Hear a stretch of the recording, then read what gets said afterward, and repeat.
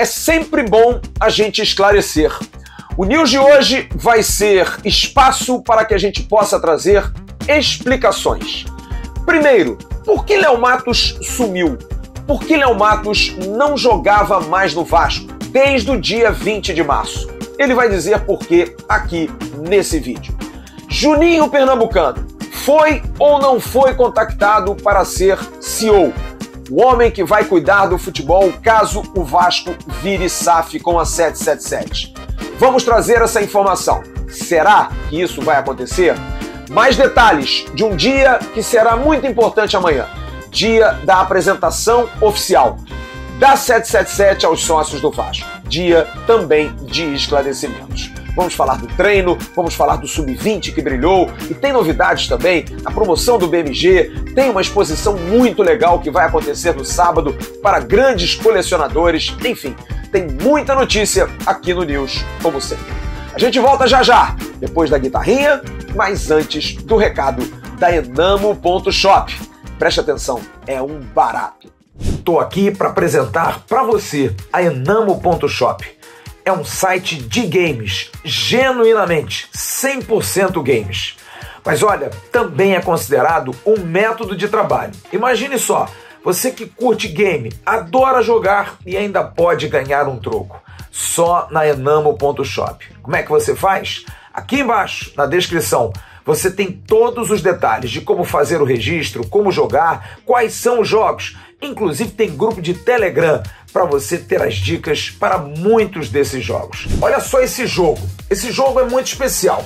Jogo das cores, da bolinha com cores. Você precisa acertar a sequência de cores e a estratégia, com você descobrindo a próxima bolinha que vai surgir, seja vermelha, seja verde ou empate. Você pode apostar, pode dobrar, você pode ganhar dinheiro apostando e também brincando com o jogo das cores. Cenzinho na Enamo.shopping, vamos lá! Sobe aviãozinho, sobe helicóptero, sobe, sobe, sobe, sobe, sobe. Olha o multiplicador, vou brecar, brequei! Boa! Enamo.shop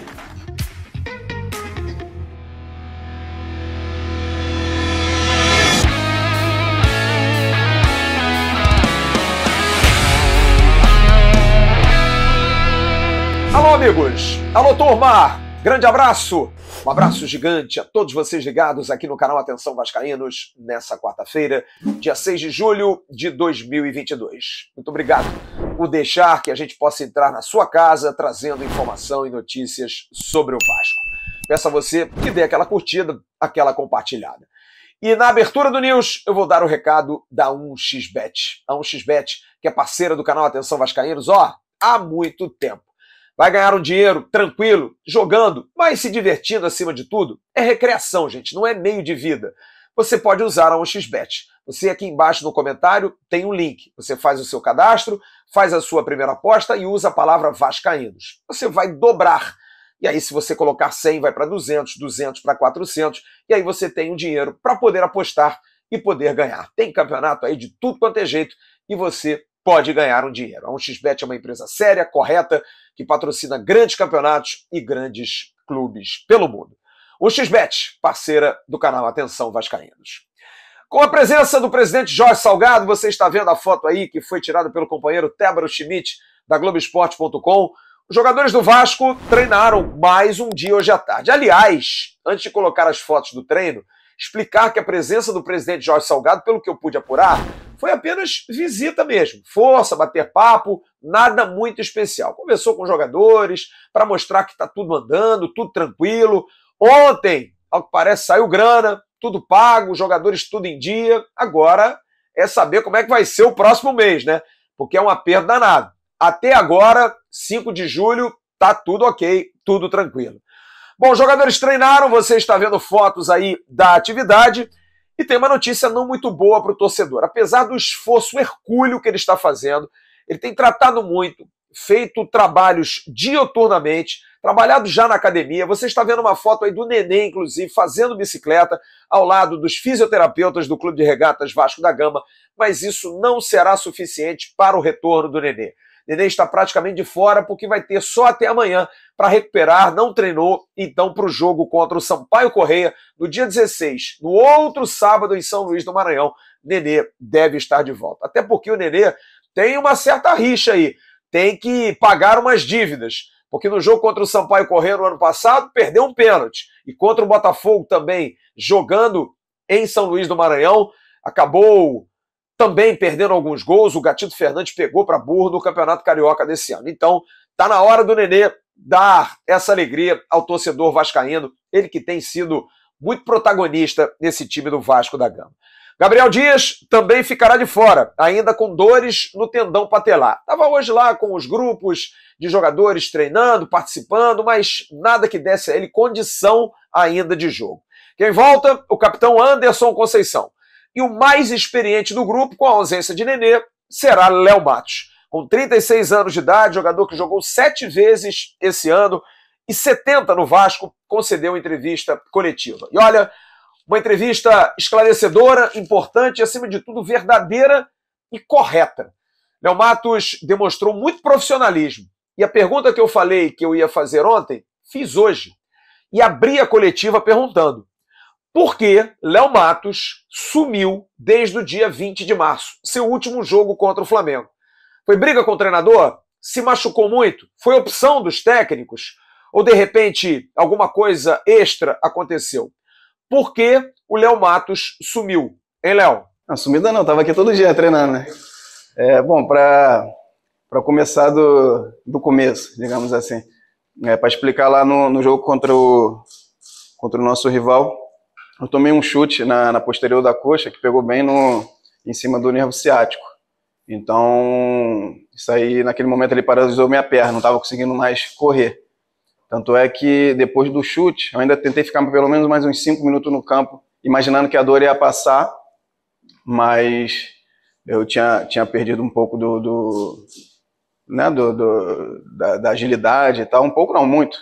Então, assim, vi que era o momento de sair, porque a qualquer momento poderia tomar um gol ali por, por, por alguma falha minha, por condição física, e eu e depois eu ficar é, me lamentando. Imaginei que seria melhor naquele momento sair do jogo colocar uma pessoa que estivesse 100% para poder executar ali a função que precisava na maneira, na, da maneira, maneira devida.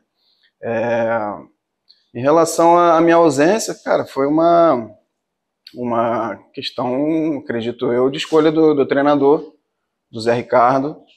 Logicamente que quando iniciou o ano, é, eu permaneci no, no, Vasco, né? até fiz questão de, de, permanecer pela, pela minha vontade de colocar, recolocar o Vasco na, na primeira divisão. É, chegou o Everton, eu sabia que ia ser natural ali ter uma, uma competição entre nós. E no primeiro dia, na apresentação, na verdade, eu, eu acusei Covid. Então perdi aí 10 dias de treinamentos e já comecei atrás.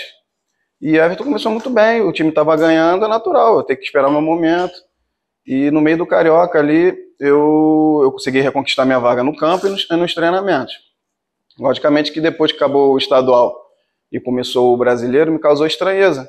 É, eu saí né, de titular, a terceira opção, com a chegada do, do Gabriel.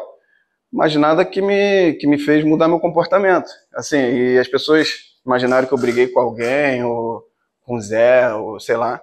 Mas muito pelo contrário, minha relação com o Zé é excelente. E até agradeço, sou muito grato ao Zé e toda a comissão dele por, por mais que naquele momento eles optaram por outros treinadores, por outros jogadores, eles nunca deixaram de me respeitar, me colocar, é, é, me deixar dentro do grupo, né, não me excluir do grupo. Então eu, eu treinava assim é, como todos os treina, como todos os jogadores é, todos os trabalhos eu, eu também praticava, então, assim, em nenhum momento ele faltou com, com respeito, eu sou muito grato por isso.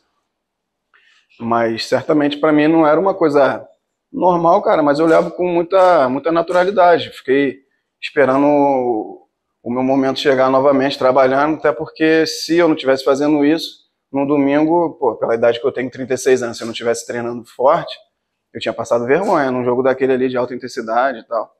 Então só, só mostra é, para todos o, o quão profissional eu fui durante esse período. Por mais que não concordando com, com o que vinha né, acontecendo, mas, cara, são decisões que precisam ser tomadas e ele optou naquele momento ali por, pelo Gabriel e, e pelo Everton assim, como, como, como um jogador logo de, de para repor, né, caso precisasse. Mas eu entendo que eu sou apenas só mais um, mais um funcionário no clube. Se ele não estava me aproveitando no momento ou não, aí já é questão técnica dele. Eu tinha que fazer meu trabalho. E assim vai continuar sendo. Ele teve essa lesão muito séria no jogo com o Flamengo, nervo ciático. E ele explica essa questão da paralisia. Ele ficou paralisado 60% dos seus movimentos. Então, assim, não perdi 100% do movimento. É, digamos que no momento do jogo eu estava sentindo muita dor para correr, e vamos botar que eu perdi 60% dos meus movimentos. Eu não conseguia acelerar, eu conseguia trotar. É, e trotando não dá para jogar. Então, é, depois do jogo, eu passei pelo menos mais uns 10 dias no departamento médico, mas felizmente não tive nenhum tipo de lesão. Foi um chute que pegou em cima do nervo ciático, que é um nervo perigoso, comprimiu, eu perdi um pouco no movimento, bastante no movimento, digamos assim. E precisou de tempo e tratamento. Aí, com a ajuda do departamento médico, eu consegui me recuperar rápido. Acredito eu que devo ter ficado uns cinco dias sem treinar e mais uns cinco treinando à parte até voltar a treinar com um grupo. Léo Matos admite que durante esse período em que não jogava, não era relacionado, foi relacionado apenas para dois jogos, achou que não ia continuar no Vasco. Passa, passa pela cabeça sim. É... Passa pela cabeça que de repente é, passou pela minha cabeça, de repente meu ciclo tinha se encerrado no Vasco, que de repente eu precisava buscar um outro clube, né, para seguir minha carreira. É... Mas são coisas que passam na cabeça de qualquer jogador que que está momentaneamente sem jogar. Não posso chegar aqui para você e falar não, que isso, tudo bem. Não foi assim, mas é, o importante é o jogador ter um pouco de discernimento, né? Entender que aquilo ali pode mudar da água para o vinho no dia seguinte. É, no meu caso, assim, infelizmente o, o Gabriel se lesionou. É, optaram por mim naquele jogo. Então, assim, cara, do nada eu não vinha sendo relacionado. Passei, sei lá, 15, de 15 rodadas acho que eu fui para duas, fiquei no banco não entrei, e caiu no meu colo uma oportunidade daquela ali, entendeu? Cara, pô, aí eu tava feliz da vida, mas a gente fica assim também, cara, receoso, pô, tô muito tempo sem jogar. A única coisa que eu pedi a Deus é que meus companheiros tivessem uma boa performance naquele dia, que eu pudesse só acompanhar eles. Assim, um, muito do, do bom rendimento que eu tive foi pela performance dos meus companheiros, que atuaram bem e eu, eu precisei apenas acompanhar, desculpa, acompanhar o ritmo deles. Então, logicamente que eu nunca deixei cair nos treinamentos nesse período todo que eu fiquei afastado, trabalhei muito, até porque se não fosse no Vasco, teria que ser em algum outro lugar. Se eu optasse em sair e, e seguir minha carreira em outro lugar, eu precisava estar pronto para chegar e jogar, né? Porque eu precisava, para me contratar, eu precisava de um jogador que chegasse e jogasse já de, de início. Mas, cara, eu sou muito tranquilo para esse tipo de coisa. Estou no futebol já há muitos anos, vou completar no ano que vem já 20 anos como profissional. É, e já aconteceu muita coisa na minha carreira e tal. Isso que eu passei agora, é, muitos anos que eu não passava, assim, ficar fora de jogo, parecia que estava um pouco fora do contexto. Mas eu estava me preparando para alguma coisa, entendeu? E, assim, domingo, graças a Deus, eu tive a oportunidade de jogar e jogar bem, todo mundo atuou bem. Felizmente, o resultado não foi o que nós esperávamos, mas deu para dar uma boa colaboração. Ele já tem 36 anos, é um jogador que volta agora numa reta final, faltando 21 partidas para terminar o ano para o Vasco da Gama. Será que o Léo Mato se enxerga num futuro Vasco SAF, tendo 36 anos? Hein, Léo? Bom, é, é, é, objetivos. É, primeiramente, meu, meu maior objetivo nesse momento é, é subir o Vasco. É, um objetivo coletivo, mas é um individual também, porque eu, eu, eu preciso, se for o caso de ter que encerrar meu ciclo em dezembro, eu, eu saí do Vasco da mesma forma de como eu entrei, entendeu? Saí e ainda melhor, talvez, né, colocando o clube em alta e tal. Mas eu tenho alguns objetivos individuais, com certeza, é, que é além de subir o Vasco, tentar permanecer jogando até o final do ano e provar que eu tenho condições de, de estar aqui no ano que vem. Que para mim seria assim, chegando próximo do, do, final da minha carreira, né? Pretendo que devo jogar aí pelo menos mais uns, uns dois ou três anos. Então, se eu conseguisse realizar isso, né? Seria maravilhoso para mim, porque, como eu falei, é, muitos é, familiares vascaínos, muitos amigos vascaínos poder atuar no Vasco na minha casa, seria maravilhoso. Então, meu objetivo principal seria subir o Vasco nesse momento, independente do que aconteça comigo no futuro, e o meu pessoal é provar para todos dentro do Vasco que eu tenho condições de jogar talvez mais um ano. Então, seria a, a curto e médio prazo seriam, seriam esses os objetivos. Mas ele admite, desanimar é uma palavra que nunca esteve no dicionário dele. Não, momento de desânimo não. Eu não posso. É, de repente essa, essa palavra não, não, se encaixa muito bem. Momento de que eu não estava sendo aproveitado. Desanimar nunca desanimei. É, até porque, como eu te falei, eu estava me preparando para algo. Não sabia para o que era. Tinha muita fé em Deus de que alguma coisa ia acontecer até o final do ano. Poderia ser aqui ou poderia ser em outro lugar. Mas eu, eu tinha no, no fundo do meu coração uma esperança que fosse aqui, porque é, até o, o Maurício me chamou para conversar para poder entender de mim qual era a minha vontade de, de jogar antes do jogo, né? No, no, sábado, se eu não me engano. E eu falei para ele, Maurício, todo mundo aqui tem vontade de subir o Vasco. Você tem, é, todos os jogadores que chegaram agora têm. Aí eu falei, contei um pouco da minha história para ele. Imagina eu que cheguei no clube na primeira divisão em 2020, caí junto com o clube, permaneci no ano passado fazendo um acordo financeiro que só uma mãe faria por um filho. Fiz, permaneci, não subi e aqui estou eu novamente com essa oportunidade de estar no Vasco da Gama, um clube desse tamanho, jogando na cidade que, que eu nasci, para um monte de amigos e familiar. Você imagina o quanto eu quero subir o Vasco. Então, é, cara, oportunidade assim que, que apareceu para mim, eu tentei aproveitar da melhor forma possível para poder agradar né, e permanecer, tentar permanecer atuando. O Vasco, nos últimos seis pontos, ganhou apenas um. Preocupação para o elenco, para o time? Hein, Léo Matos? É, realmente os resultados não foram bons, mas a, a, confiança em nenhum momento se abala. Até porque depois do jogo contra o Londrina, que a gente realmente. Londrina, desculpa. Londrina não, Operário. Operário, né? Antes do é, Operário. Que realmente a equipe não, não se apresentou tão bem. A gente, por mais que gente, nós tenhamos empatado o último jogo, a gente viu uma evolução muito grande a nível de competitividade e de jogo também, né? Então, não se abala a confiança em nenhum momento. A gente acredita muito no que vem sendo feito e tenho certeza que nas próximas partidas a gente vai recuperar essa, essa diferença aí que a gente perdeu. E eu terminei a entrevista coletiva fazendo uma pergunta que eu acho que seria importante ser feita. Leomato chegou em 2020. 2021 acabou não subindo, caiu em 20 e 21 não subiu. Participou desses dois elencos e foi o único jogador que permaneceu porque ele é mais antigo no Vasco de hoje do que o próprio Nenê. É um jogador que está desses dois anos de tantas tragédias incluído nela. Mas acabou renovando o contrato por uma situação muito abaixo, como ele acabou de dizer na entrevista coletiva. E eu perguntei a ele, por que, que esse ano está dando certo? Por que, que não foi assim no ano passado? Tem algum diferencial, Léo Matos? Cara, a pergunta é um pouco difícil, assim, dizer o porquê que tá dando certo nesse ano e por que no ano passado não deu. É... Minha avaliação, assim, no ano passado, de repente, a nível de nome e tecnicamente, nosso, nosso time, não posso dizer que é melhor, mas pelo menos no papel e a nível de vivência de cada jogador, tiveram relativo sucesso na primeira divisão e tal, Zeca, Marquinhos Gabriel, Vanderlei. Se a gente começar a citar nome e colocar um time do lado do outro, talvez do, do ano passado tecnicamente parecesse ser melhor. Mas esse ano é, chegaram muitos jogadores com, com objetivo assim de talvez mudar a vida deles, né, com essa oportunidade de atuar pelo Vasco. E acredito que pode estar fazendo diferença nesse momento, de, de um olhar assim, é, é, é, é matar ou morrer. É, no ano passado, os jogadores que talvez estavam aqui seria mais um clube na, na carreira e se não der certo, é, vai dar no próximo, jogadores já com, com renome.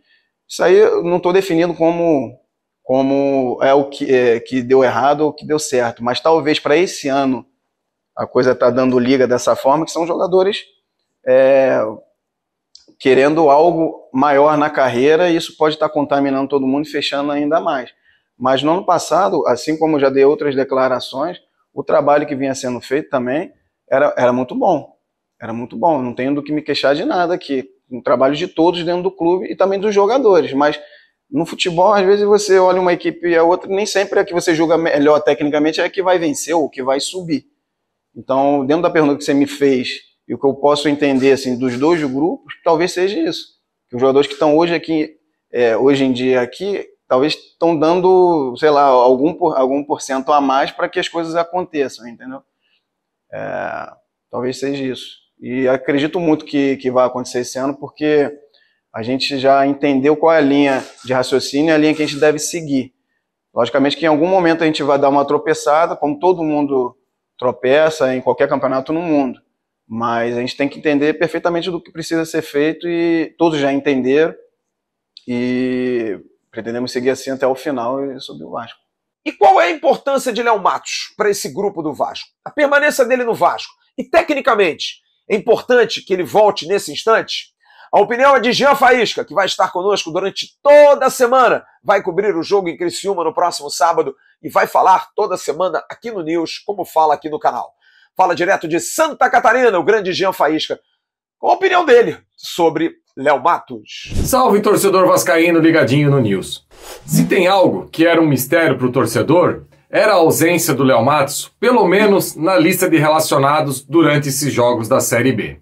E olha que o Vasco começou lá com o Everton de titular, não correspondeu, foi ao mercado, veio o Gabriel Dias, fez boas partidas, mas infelizmente, por suspensão e pela questão médica, acabou saindo em alguns jogos e entrou o Everton, que não conseguia dar sequência nenhuma. Um jogador realmente muito limitado, que infelizmente no Vasco até agora não deu certo. E o torcedor sempre batia nessa tecla: cadê o Léo Matos? Cadê o Léo Matos? E o Léo Matos, que concedeu entrevista coletiva à tarde, deixou claro aí que estava apto um bom tempo já para poder atuar e era opção do treinador deixar ele de fora. Tanto o Zé Ricardo, depois o Faro e agora até no início do trabalho aí do Maurício Souza. E a gente pode observar no último jogo que não tem comparação. O Léo Matos deve sim ser mais aproveitado nessa equipe do Vasco. Um lateral que tem técnica, eu diria que do lado direito, disparado que tem mais técnica.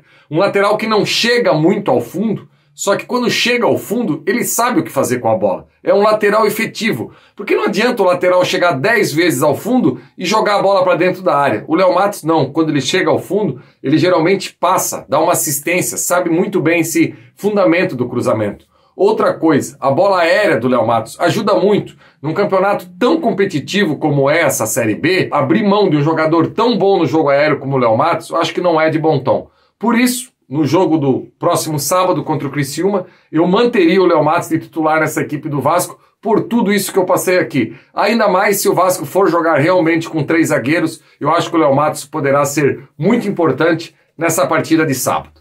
Valeu, galera. Um abraço e até amanhã no nosso encontro diário essa semana aqui, nesse serviço especial que o canal Atenção Vascaíno está fazendo, visando esse jogo contra a equipe do Criciúma uma parceria do canal Atenção Vascaíno juntamente com a ZF Sports Uniformes Esportivos.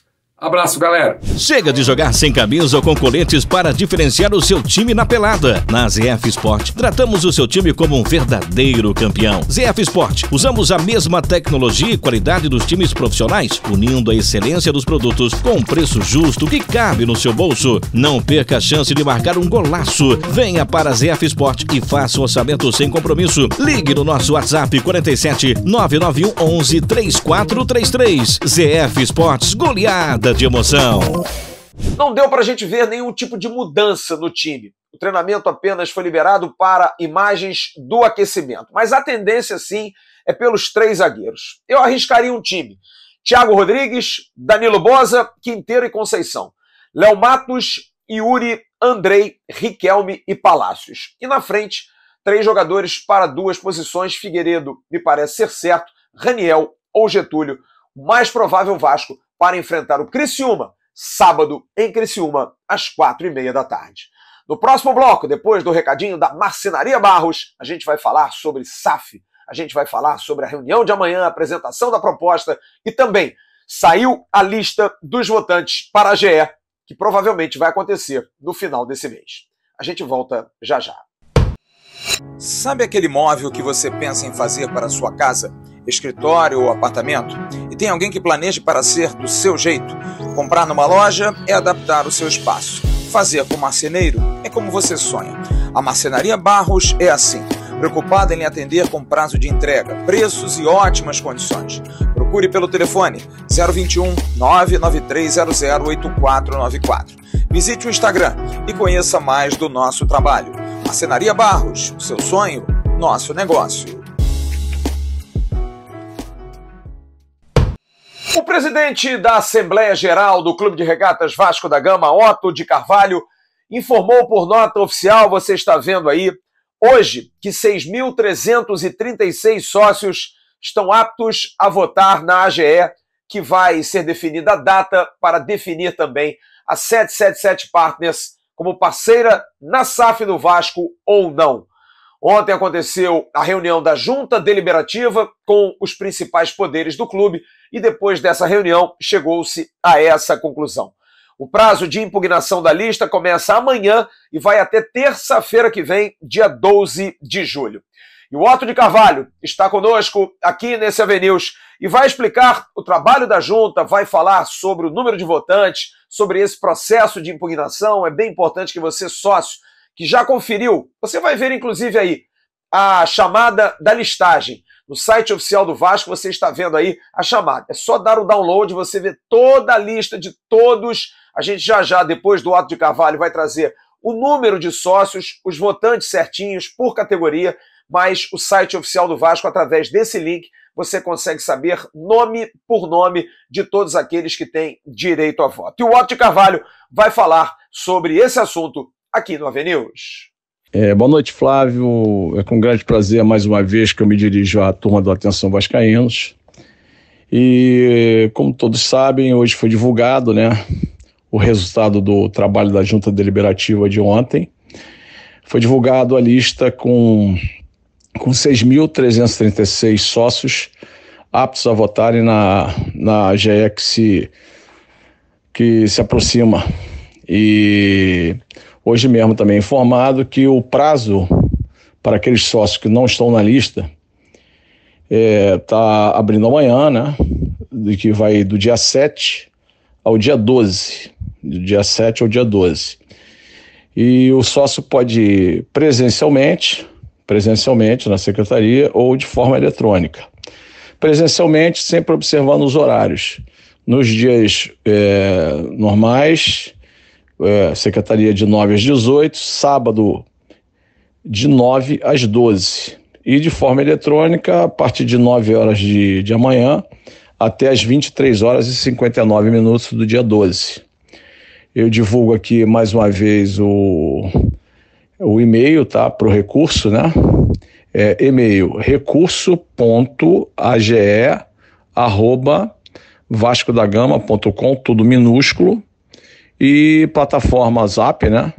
21, né? 933 002 815. Após esse, o dia 12, é, a gente eu convoco o, o Conselho Fiscal é, para o dia 13 a gente já fazer o julgamento desses recursos. Eu teria até, tenho até 48 horas, né? Posso usar, se necessário, o dia 14. Mas acredito que no dia 13 a gente estará julgando todas as impugnações.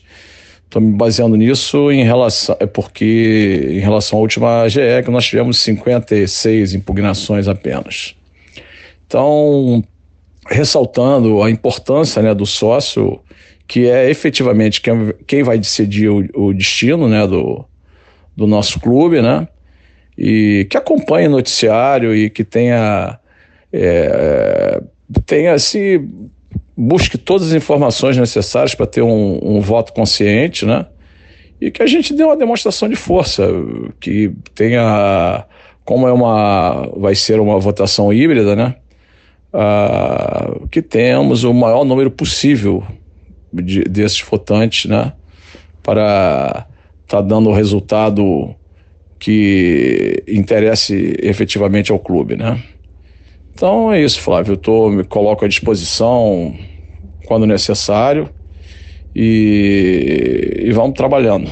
Trabalhando, o Vasco tem que ter o foco aí do primeiro não pode perder o foco futebol, né? E a gente tem que estar atento, subir e, e vamos trabalhar, botar o Vasco aonde que ele efetivamente tem que estar na Série A junto aos principais clubes brasileiros.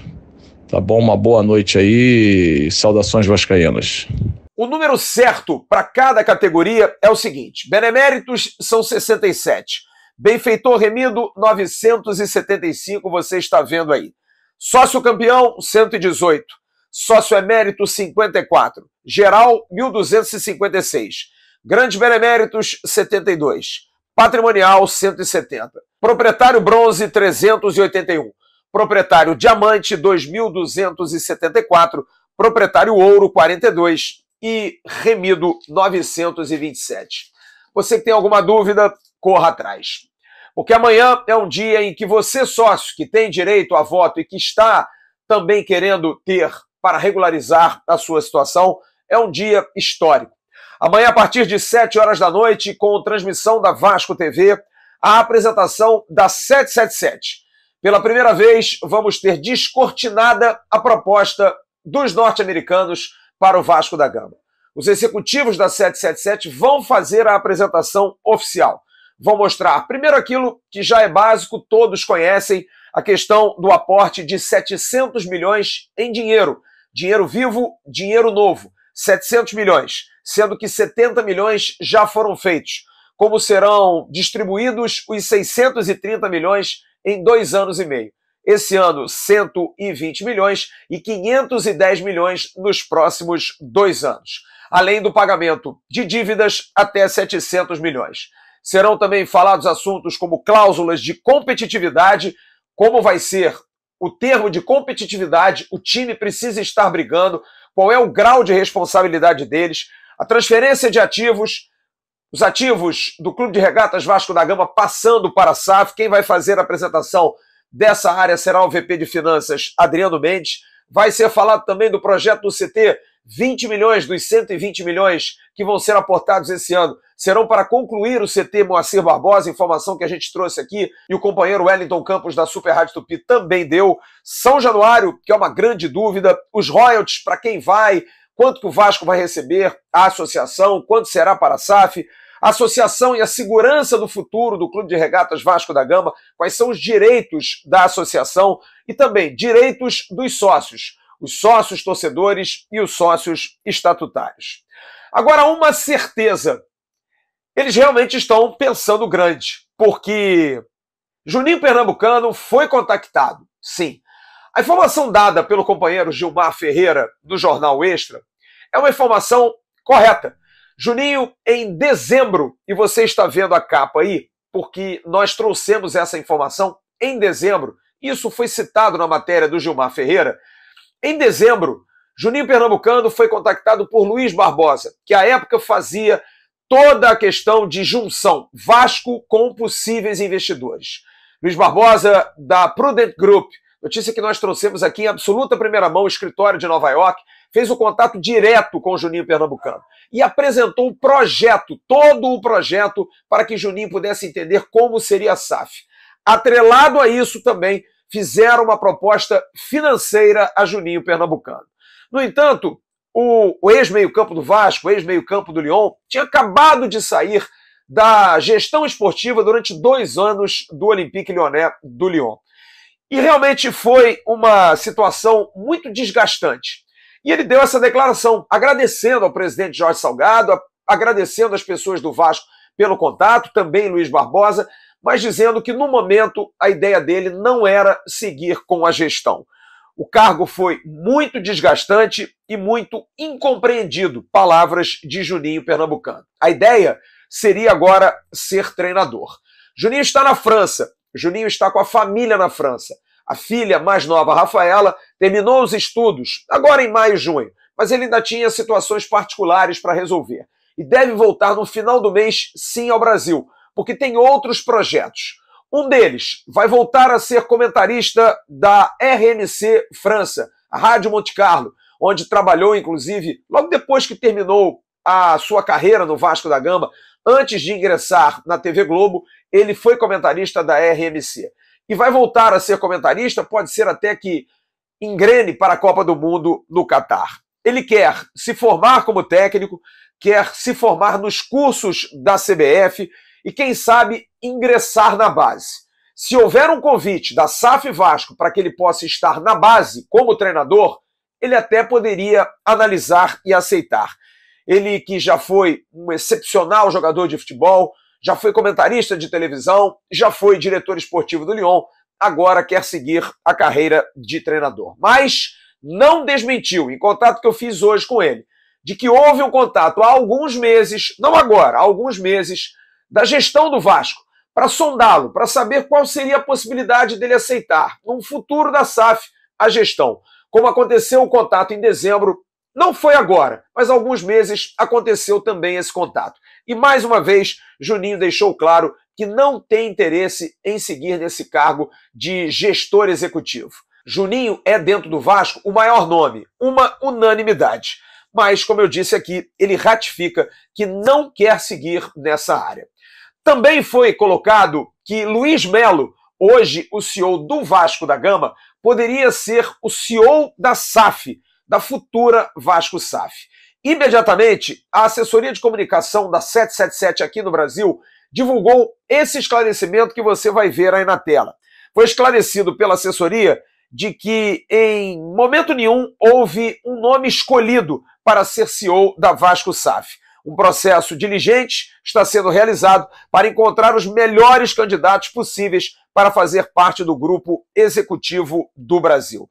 Luiz Melo, na verdade, tem intermediado muitas conversas pelos contatos. É quem, por exemplo, fez praticamente a negociação junto à época com Alexandre Pássaro de Thales Magno para o New York City. Ele tem a língua inglesa na ponta da língua, fala bem, tem influência, isso ajuda muito, tem feito contato com os executivos da 777 e tudo isso ajuda demais. Por isso, ele é uma pessoa hoje que tem influência nos processos. No entanto, não necessariamente será o CEO da SAF, esclarece a 777. Dois aspectos. Primeiro, porque não é muito querido, porque tem uma origem vinda do rival Flamengo. E um segundo aspecto, ele também não tem muito prestígio com todos os diretores do Vasco. A diretoria, alguns acham que ele não deveria estar ali, enfim, não é uma pessoa amplamente querida, não é uma unanimidade. Para uns faz um ótimo trabalho, para outros não faz um ótimo trabalho. E isso também atrapalha para que ele seja o escolhido como CEO da SAF. Mas vamos esperar, porque ainda tem muita coisa para acontecer. Primeiro, a aprovação. E amanhã, como eu disse, será um dia decisivo para tal. Já já, o bloco final do News. Você pensou que eu fosse esquecer do renda extra, né? Não, não esqueci não. O renda extra tá dando uma vida nova a muita gente. Na descrição do vídeo você tem um link. Você clica ali, paga R$ reais para fazer o curso Lucrando em Home Office. Você faz esse curso e você aprende a trabalhar de casa, sem patrão, sem trânsito, sem riscos aí de variantes, da própria Covid, enfim, você trabalha de casa, tem uma equipe de suporte que dá toda a segurança para você aprender e mesmo que você não consiga aprender, eles devolvem o seu dinheiro. Você não tem absolutamente nada a perder e tem muito a ganhar. Lucrando em home office, aqui embaixo. Entre, clique, pague R$ reais, faça o curso e começa a trabalhar de casa, ganhando em dólar. E para encerrar esse Avenil de hoje, antes da hora do abraço, três informações. E atenção, acabou o mistério. O ídolo do Vasco que vai ser entrevistado por você que está participando da promoção do BMG, que você vai visitar o CT, vai conhecer as dependências do CT Moacir Barbosa, vai estar com os jogadores do Vasco e vai ter essa oportunidade de poder entrevistar um grande ídolo da história do Vasco. Olha, a promoção que já era absurda, agora está imperdível. Você está vendo a foto aí de quem é Pedrinho, grande Pedrinho, craque do Clube de Regatas Vasco da Gama, histórico, campeoníssimo do clube, hoje comentarista de televisão, vai ser o craque que estará no CT sendo entrevistado por você que participa da promoção do BMG. Na descrição aqui do vídeo vai ter um link e também vou pedir para colocar o QR Code aí na tela para que você possa participar da promoção do BMG. Vale muito a pena, muito legal. Você participa, indica, vai na aba do, do BMG, a aba de indicações, e você indica um parceiro e você vai estar concorrendo a essa grande promoção imperdível. Pedrinho pode ser seu entrevistado. De repente você participa de uma coletiva fazendo perguntas para Pedrinho. Um outro programaço, hein? Sábado vai acontecer, além do jogo do Vasco, você pode passar um dia inteiro de Vasco. A Expo Vasco, apresentação de itens colecionáveis da história do Clube de Regatas Vasco da Gama, história centenária. 20 colecionadores apresentarão peças de seus acervos particulares, camisas, medalhas, faixas, meu amigo Leonardo Klein vai estar lá com as suas inúmeras e milhares de figurinhas. É um cara que é colecionador de figurinhas. A Expo Vasco, que esse ano já é a segunda, a primeira foi em 2019, homenageia Roberto Dinamite, que vai ter uma área dedicada a ele. Vai ser sábado, dia 9, Casa dos Açores, Rua Melo Matos, 25, na Tijuca.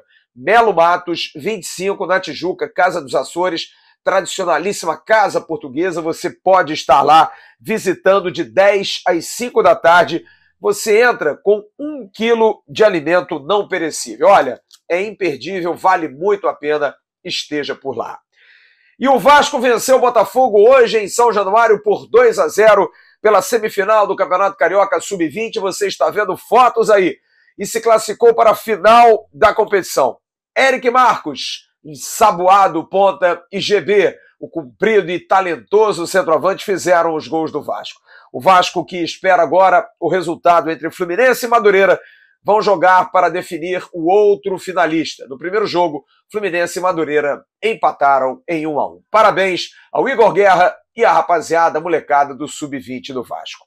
Agora, a hora do abraço. Em nome da CG Segurança Eletrônica, grande Cristiano instalação e manutenção de sistema de câmeras de vigilância, interfones, cercas elétricas, portões automáticos e também alarmes, protegendo o seu patrimônio. Proteja com a CG Segurança Eletrônica, agora também em Saquarema, Jaconé e em outras cidades da região dos lagos.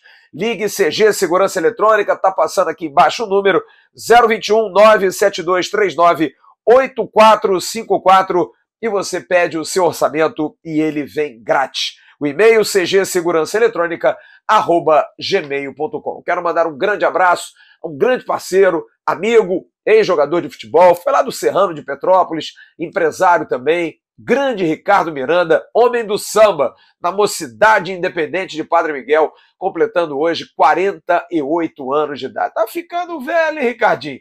Mas a circunferência continua a mesma. Grande abraço ao querido Ricardo Miranda, saúde e felicidade. Amanhã de manhã tem o Acorda Vascaíno, vamos seguir com o nosso trenzinho.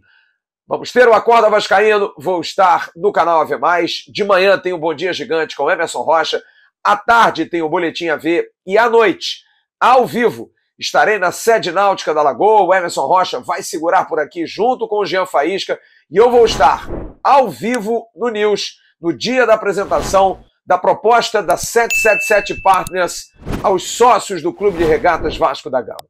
É um dia histórico. A gente precisa ficar ligado na Vasco TV e a gente vai estar aqui também ao vivo trazendo as repercussões, as entrevistas depois desse evento. Fique ligado, aqui no canal é sempre assim. Não se esqueça também de curtir as nossas redes sociais no arroba Avascaínos, Facebook, Instagram e Twitter.